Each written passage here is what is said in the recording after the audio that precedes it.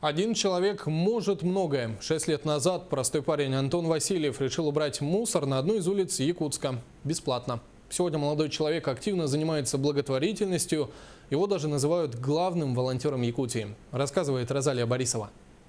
На очередную детскую площадку или сквер Антон приходит налегке. За спиной в рюкзаке главного волонтера республики лишь десяток пар перчаток, рулон мусорных мешков, салфетки и большое желание сделать мир лучше.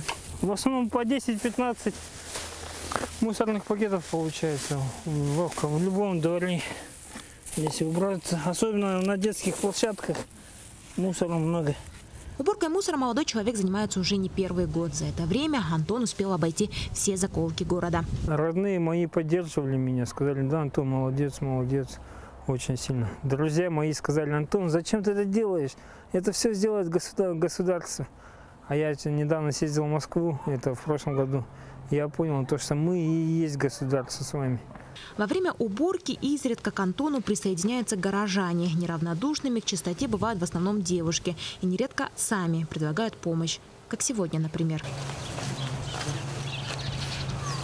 Это наш любимый сквер. Мы живем здесь недалеко и практически каждый день, даже не по разу сидим здесь, отдыхаем, идем на учебу, сидим здесь, идем с учебы, сидим здесь. И часто даже сами здесь убираем, потому что неприятно сидеть и видеть грязь. Уборка мусора за 6 лет приросла в благотворительную деятельность. Антон помогает многодетным семьям, детям-сиротам. Старается, чтобы жители республики помогали друг другу. Как может показаться сначала, утопическое желание объединить людей добром работает. Движение добра, которое организовал Антон сегодня, объединяет целые города. У нас Аллас менталитет. Это мой Аллас, я его люблю, я буду тут. А дальше все чужие. А ну, нам надо любить. Вот то же самое я хочу добром сплотить людей, поломать алласный менталитет. Запуск был с города удачным, оказал городу Нерингр. Нерингр оказали Алдану помощь. Алдан Медина Канкаласа. Медина Канкаласа городу Якутску. А помощь идет, знаете, куда? Помощь уходит малоимущим, да, детские дома, коррекционная школа, всем им уходит.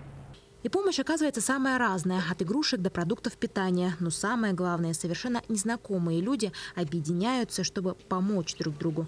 Вот и сегодня удалось вместе сделать одно доброе дело. Стало чисто. Я везде вешаю такие плакаты, чтобы люди видели и меньше мусорили. Розалия Борисова, Евгений Логинов, НБК Саха, Якутск.